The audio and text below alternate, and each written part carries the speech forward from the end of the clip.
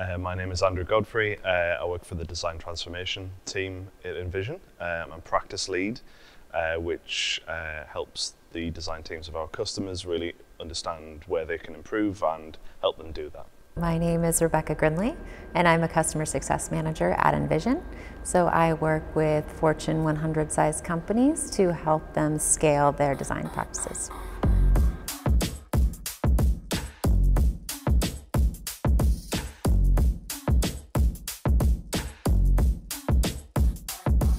I think um, looking back at my experience and my uh, journey through design as a design professional, you often think about the thing that you're designing and how good that looks and how good it feels. Uh, so you concentrate on the hard skills quite a lot. Um, but actually, as I've gotten older and I've worked through my career, I've realised the soft skills um, are probably more valuable um, because you, because design is scaling, you're getting a seat at the table, and so designers are now becoming leaders, uh, kind of visioning what the business can be.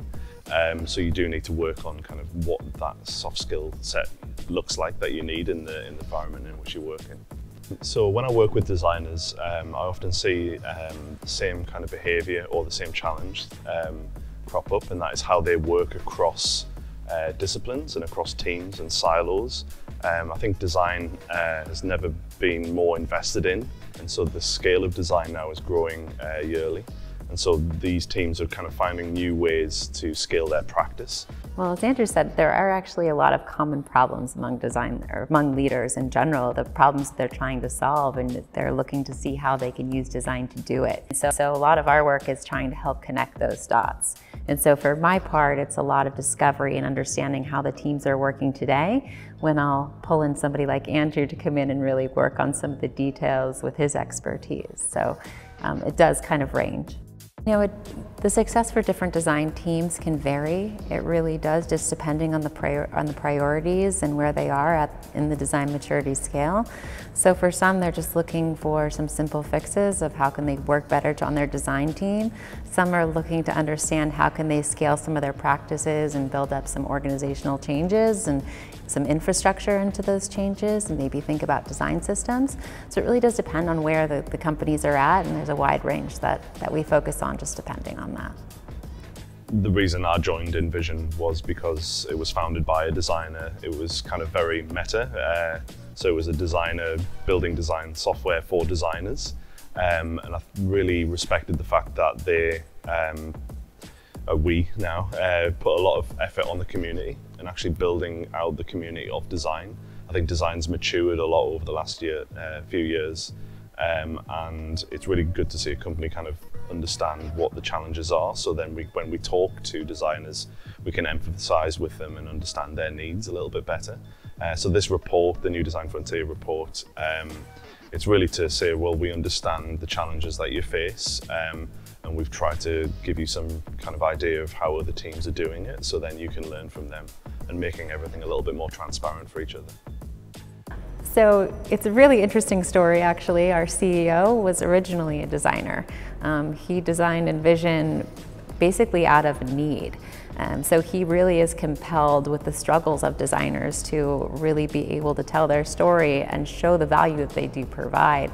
So that's always been baked into our culture of how can we really make our customers heroes and elevate design, help to elevate design within organizations. So we definitely use the Design Frontier report with customers because ultimately we see a lot of similarities in their challenges and it feels like people are still trying to figure it out, like what is going to work for their business because each business really is unique. So even though we can kind of benchmark some of these things, how can we kind of relate this to their business? So it gives them kind of a starting point to evaluate, you know, what might be missing and where they can be improving. Um, yeah, like, yeah, I think Rebecca uh, said it well. I think um, going back to my answer before where it's essentially giving people a benchmark to know where they are so you can actually start where the improvements are so you're not leading yourself through the dark a little bit. Um, but it, it, it is trying to make design a little bit more inclusive because the big, I think the biggest surprise for me is how simple um, some of the, the top companies were performing. Why that was uh, simply because they worked as a, connect, a connector to the rest of the business. So the design team, yes, concentrated on creating screen designs and service design, but they were also concentrating on making sure that people like finance or HR or uh, their leadership and business sponsorship came into the conversation regularly and often in the design practice. So they actually re reduced overhead, they um, operationalized design, they democratized it a little bit. Um, so this is, I think, uh, what the report is trying to kind of communicate to those uh, businesses that we work with um, and the habits of those level five teams. I see the future of design as a really exciting time, right? Because we have so many new things that are popping up all the time. The design systems are very popular right now and that's coming up. So how is that going to be used and how are tools going to be innovated upon, I think is a really interesting topic. But also how are people working together? So making design the heart of the organization, I think is, uh, is another piece of how we're going to see things change. Yeah, I think the to that point, the future of design is kind of being future friendly in, in respect, not future proof, where businesses before have been future proof, right? They've tried to predict the future and things have failed or disruption has happened. Um, but I think for, for me personally, and, and I think the community as well, that um, it's becoming a lot more inclusive design, and I'd like to see that become the future of design where um, yes, diversity in the team and the leadership, but also the fact that we're bringing people that um, we're making design accessible for them and that we aren't the gatekeepers to that answer, but we're going to help them do it for themselves. I think that's uh, a really powerful uh, moment in design as a profession, uh, which, yeah, it's really great to be involved in. Well done.